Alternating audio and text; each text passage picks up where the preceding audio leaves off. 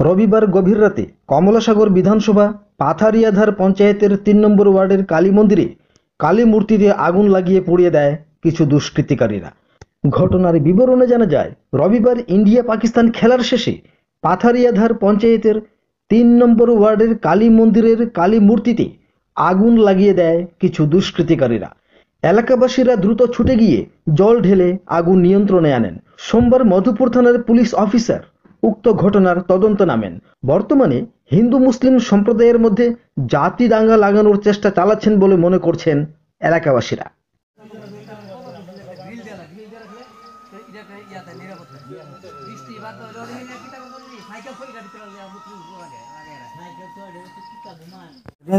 আমরা তো বাড়িতে বাড়ি করে বইতে আমরা পিছন রয়েছে আমরা বাড়ি এটা পিছনে।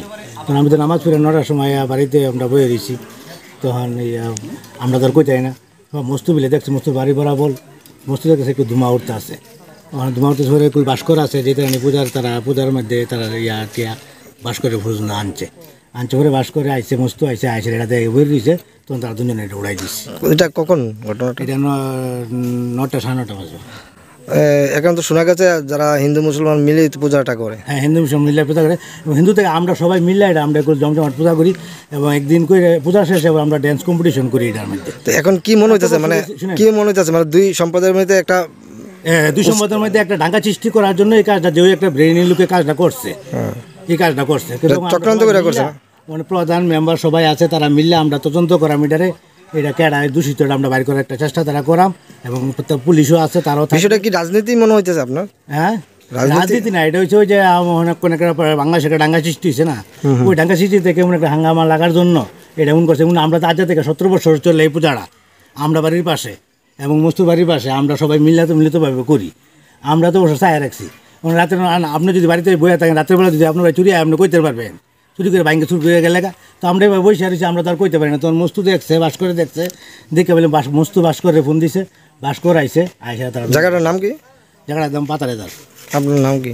আমার নাম সবজি মিয়া।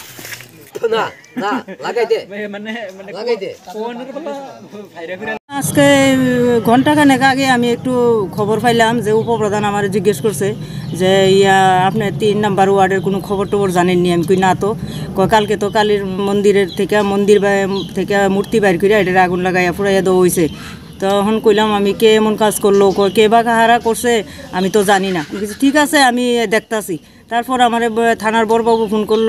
যে, ম্যাডাম, এইখানে কালীর মূর্তি যে পুরা গেছে, আপনি কোনো খবর টবর পাইছেননি পাথরদার স্কুলের নিচে?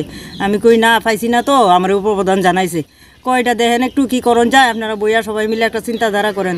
তখন আমি কইলাম যে, এটা কি কি রাজনৈতিক চাল না কি আমি ঠিক কইতাম পারতাছি না।